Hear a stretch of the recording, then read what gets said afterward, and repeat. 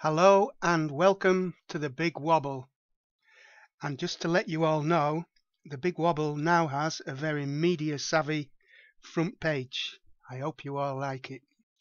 Cold records tumble on both sides of the Atlantic this weekend as the polar vortex blasts the northeast of the US with coldest air in a decade.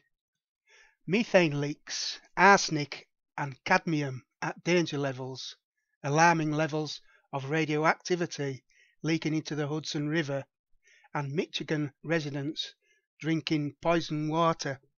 It's the US 2016.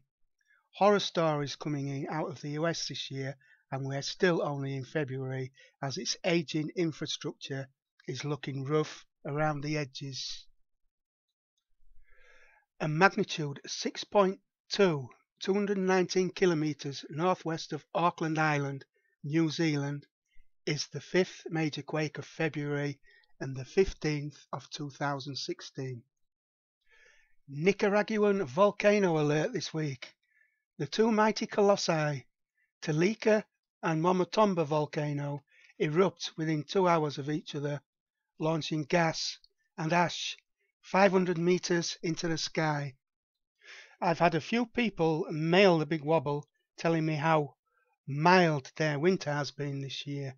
Well, spring has arrived in Holland six weeks early as trees and flowers begin to bloom. Do these pictures really look like Northern Europe in the middle of February? I am not here to promote global warming, just facts.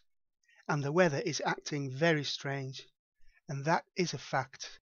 The El Nino show broke another record last month, with January seeing an extraordinary record-setting spike in global average temperature. It follows reports from NOAA that 2015 was the Earth's warmest year by the widest margin on record. The super El Nino pattern that we're still in right now hit a peak in January, and that no doubt played a role in this global temperature spike.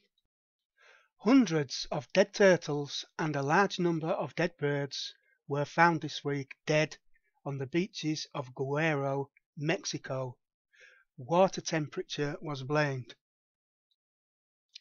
Outrageous warm weather followed by record-setting snowfall and unbearable cold, followed by more mild weather, sorry, causing massive thaw, is hitting Ottawa, Canada this week. Death Valley in California is poised for a wildflower super bloom thanks to El Nino.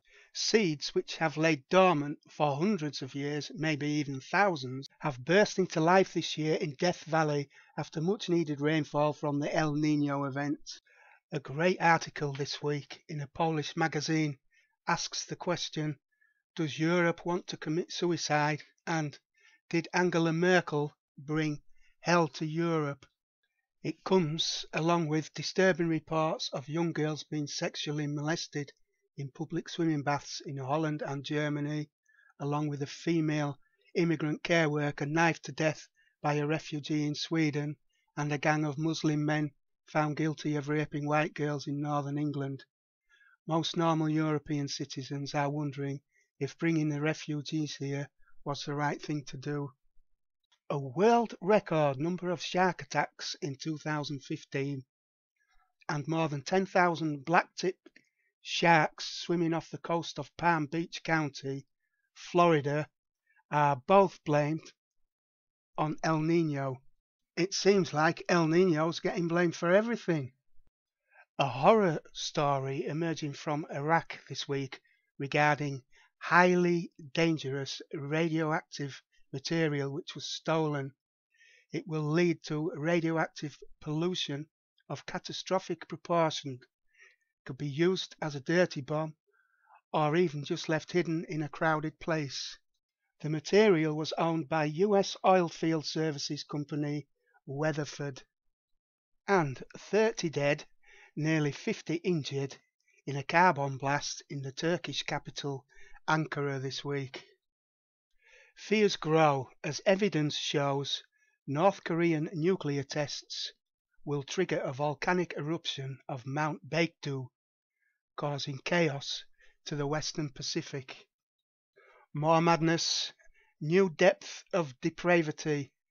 ISIS demons behead a 15 year old Iraqi boy for listening to pop music. A magnitude 6.0 Indonesia and a magnitude 6.0 on the southern East Pacific Rise are the sixth and seventh major quakes to occur this month and brings the list for the year to 17. It's been a wonderful month for meteors. Another two fireballs this week light up the sky in Italy, France and Switzerland.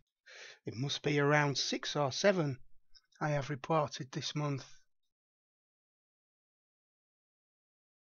And on Friday we had a beautiful magnetic explosion on the Sun. Luckily it wasn't Earth facing. NASA's Solar Dynamics Observatory recorded a beautiful movie of the explosion. A close call this week, but our bigger one's on the way. A magnitude 5.1 strikes off the Fukushima coast sorry, of Japan. Many believe it's an accident waiting to happen. Tropical Cyclone Winston turned deadly this week. Category 5 Winston is now the strongest cyclone ever to hit Fiji in recorded history. It's the cyclone which died and came back to life. Incidentally, as the cyclone arrived, Fiji was hit with a magnitude 5.8 earthquake. More radioactive horror for the Japanese. Kansai Electric Power Company reactor number 4 opening is suspended after radioactive water was found in the building. The reactor had been closed since the Fukushima disaster in 2011. A build-up to World War III shocker.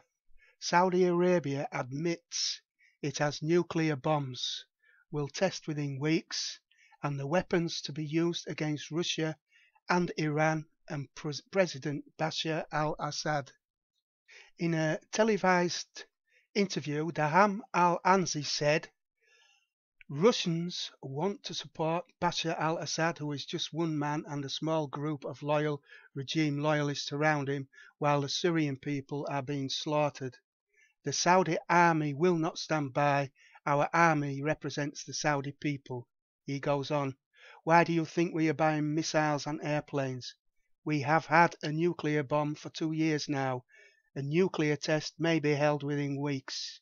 And these weapons are for the defense of Arab and Muslim rights.